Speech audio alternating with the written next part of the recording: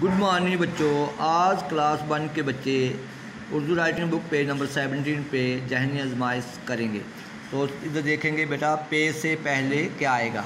तो पे से पहले आएगा अलिफ और बे।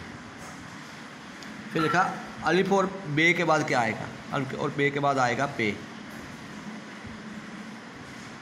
उसके बाद है, अलिफ और पे के दरमियान कौन सा आएगा? अलिफ, बे, पे। तो यहाँ बे आएगा। फिर ते से पहले कौन सा उर्दू हर्फ आएगा? ते से पहले आएगा पे ते। फिर नीचे है ते टे के बाद क्या आएगा? तो इसके बाद आएगा से। उसके बाद है ते और से के दर, दरमियान कौन से आएँगे? ते और से के दरमियान आएगा ते टे से। ते से। अब नीचे आइए।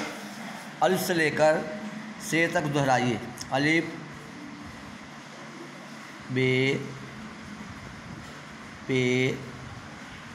फिर से ते के बाद आएगा टे, फिर आएगा से। नीचे आइए। तस्वीरों के नीचे से ही हर्फ लिखी है। ते अली पे, टे।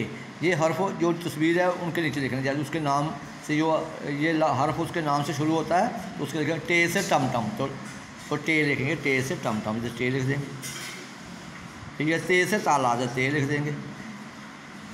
फिर अल्प से अंडा जी अल्फ इधर लिख देंगे। और टे पे से प्याला पे तो ये बच्चों, आज के लिए बस इतना ही।